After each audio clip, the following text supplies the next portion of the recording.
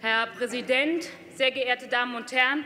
Herr Kollege Nettekofen, mir hat sich gerade aufgedrängt, ob Sie diese Fülle an Versatzstücken und Phrasen irgendwie heute Morgen im Adventskalender hatten oder woher dieser ganze Zitatekalender da irgendwie kam. Viel Substanzielles war da jetzt noch nicht so ganz dabei, aber ähm, einsteigen wollte ich eigentlich mit was ganz anderem. Denn bei der Betrachtung der Redeliste habe ich heute festgestellt, heute hat äh, jemand anders das große losgezogen der Landesregierung und darf fachfremd für den Bereich Sport sprechen. Heute sind Sie es, Herr Minister, denn der Sport freut sich ja so sehr darüber, dass der Sport jetzt endlich Chefsache ist. Und wie ich sehe, der Chef ist tatsächlich auch zugegen. Im Sportausschuss ist er das nicht und reden tut er im Plenum dazu auch nicht. Genau, darauf wollte ich, darauf wollte ich hinaus, Herr Ministerpräsident. Das ist aus meiner Sicht auch gar nicht schlimm, denn mit der Frau Staatssekretärin ist der Sport ja sehr kompetent vertreten. Aber, aber, aber, aber, ja, in der rot-grünen Landesregierung musste sich die Chefin des Sports nicht in der hinteren Reihe verstecken, sondern dürfte als Ministerin sogar am Redepult selber sprechen. Also jetzt stellt sich die Frage, ob das Chefsache ist oder ob der Sport bei der selbsternannten NRW-Koalition in der zweiten Reihe sitzt. Aber beginnen wir mal mit den Einigkeiten.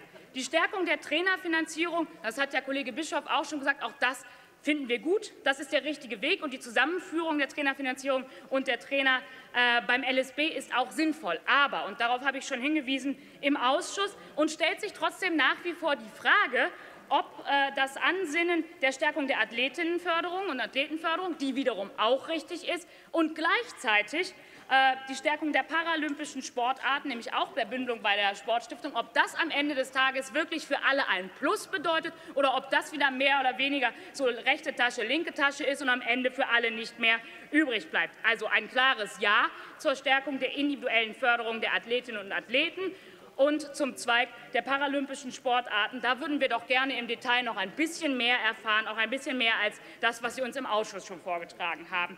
Und, auch das habe ich im Ausschuss schon angesprochen, die Sportstättenförderung. Das ist ja eines der zentralen Themen auch dieses Sporthaushalts, über den wir uns hier äh, auch immer wieder äh, ausgetauscht haben. Zum einen die Deckungsfähigkeit. Ich kann es ja nur immer wieder sagen, ich finde wirklich schön, dass Sie dem Sport angeraten haben, er sollte lauter schreien damit er sich nämlich durchsetzen kann gegen die Bildung und gegen die Bildungspauschale. Ich glaube, verantwortungsvolle Landespolitik sorgt dafür, dass es kein Gegeneinander gibt zwischen Sport und Bildung, sondern dass ausreichend Mittel für beide Seiten zur Verfügung stehen, Frau Staatssekretärin.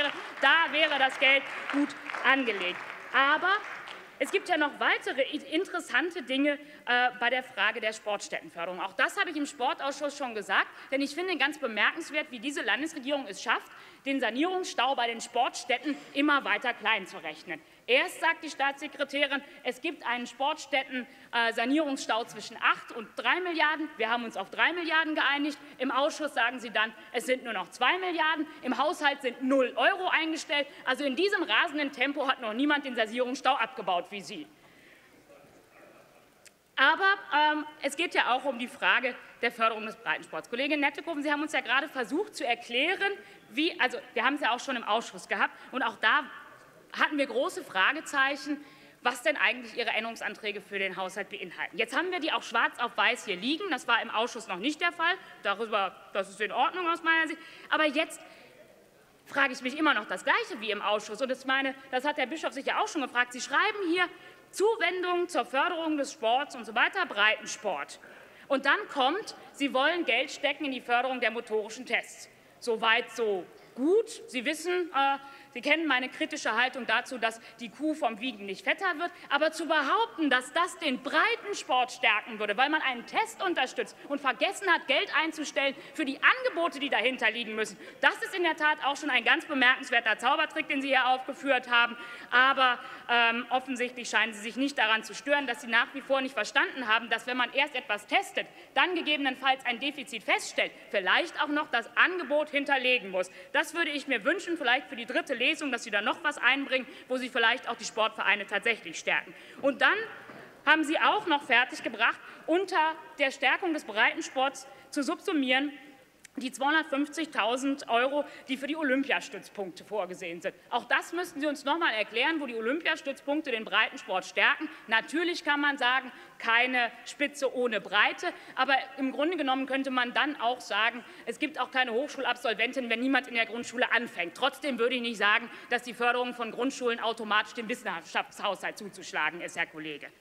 Im Großen und Ganzen sind wir uns aber bei vielen Dingen einig. Das hat nicht nur etwas damit zu tun, dass ja immer diese vielbeschworene, äh, der vielbeschworene Sport, die Sportfraktion da bei vielen Dingen einer Meinung ist, sondern es hat auch offenkundig etwas damit zu tun, dass die rot-grüne Landesregierung ja gar nicht so schlecht gearbeitet haben kann.